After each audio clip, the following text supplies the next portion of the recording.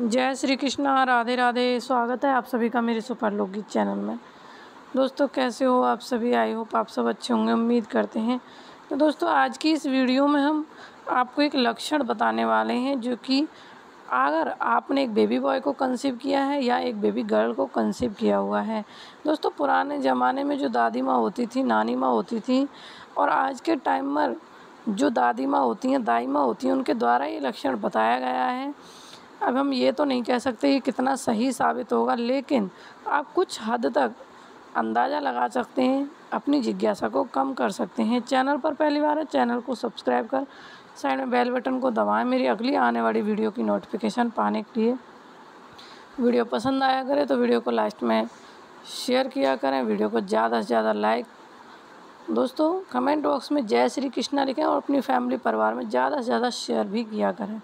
तो दोस्तों इस लक्षण को काफ़ी सारी जो हमारे सब्सक्राइबर हैं, उनकी जो डिलीवरी हुई है, उनके काफ़ी सारे कमेंट भी थे कि हमारे कच्चे चावलों से हम कैसे जान सकते हैं, मुझे कच्चे चावल खाना अच्छा लगता है, या कोई कहता है मुझे कच्चे चावलों से वॉमिटिंग होती है।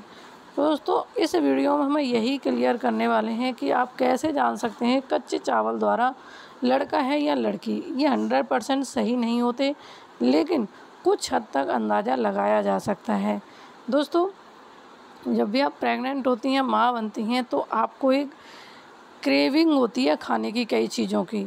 तो ऐसे ही अगर आपको पहले जब प्रेग्नेंट नहीं थी, उससे पहले अगर आपको चावल खाना अच्छा लगता था, पसंद आता था या नहीं आता था, लेकिन जब भी आप अब प्रेग्नेंट हुई हैं, अब आपको पसंद आता है चावल खाना, वो भी आपको उबले हुए चावल खाती हैं या आप कच्चे चावल खाती हैं या कच्चे चावल खाती हैं, जैसे बनाती हैं, कई बार खा लेती हैं तो वो आपको अच्छे लगते हैं।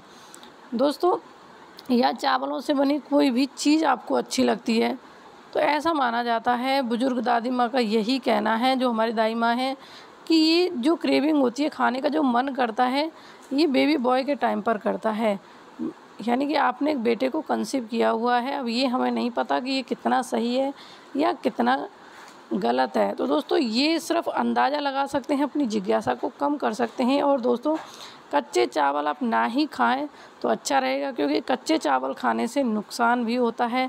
बच्चे के ऊपर, जब आपने देखा होगा, जब जन्म लेता है बच्चा तो उस पर वाइट वाइट कलर का जमा हुआ आता है तो कच्चे चावलों से नुकसान भी होता है। कच्चे चावल नहीं खाने चाहिए। लेकिन काफ़ी सारी महिलाओं के कमेंट थे कि कच्चे चावल हमें अपने बेबी बॉय को टाइम पर क्रेविंग हमारी बढ़ गई थी। हम कच्चे चावल बनाते थे तो हम ऐसे ही खा लेते थे और पूरी प्रेगनेंसी हमने खाया। तो आपके साथ हमने ये शेयर किया है। जय श्री कृष्णा, राधे राधे।